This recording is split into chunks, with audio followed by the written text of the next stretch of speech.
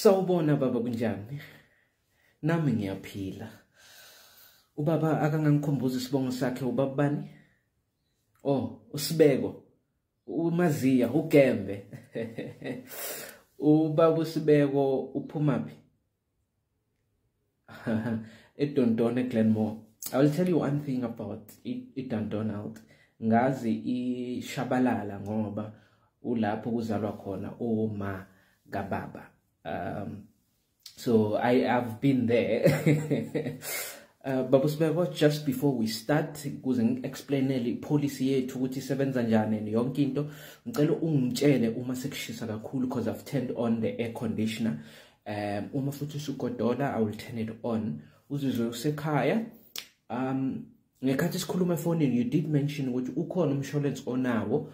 Uh engingakakubuzanga nje ukuthi ubhadala malini kuwona 420 Sure, that's a lot. Okay, uthe abantu obafakile kulo mshwalense onawo um ugogo wakho ona 73, umama wakho ona 55, wena uthe unomnyaka u30. Okay? Um wathi ushadile nomntwana oyedwa. Eh okay. Okay, ukushuthi niba yi5 uma sifaka nawe phakathi. Ngizokutshela babu sibeko that's a lot of money to pay.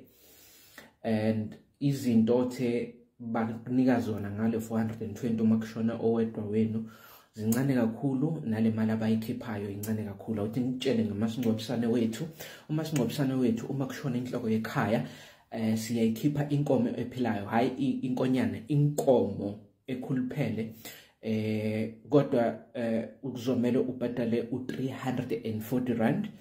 Eh uma ufuna ukuthi kube ne-airtime eh esiyikhiphayo kuzofonela izihlobo eh kufonelwe nabangani ukuthi sekukhona oswelekile uzongeza u10 rand shothi kuzoba u350 eh siyakhona nokuthi sithi ungangeza u12 rand 50 ku insurance wakho bese ngelanga lakho lokugcina emhlabeni sidedela amajuba eh amajuba siwaletha a day before uma um ibhokisi lakho lehla the next day soyobekwa siyawadedela uma ibhokisi selehlela phansi kuze umshwalense ongakwenzela lokho ngaphandle kwethu.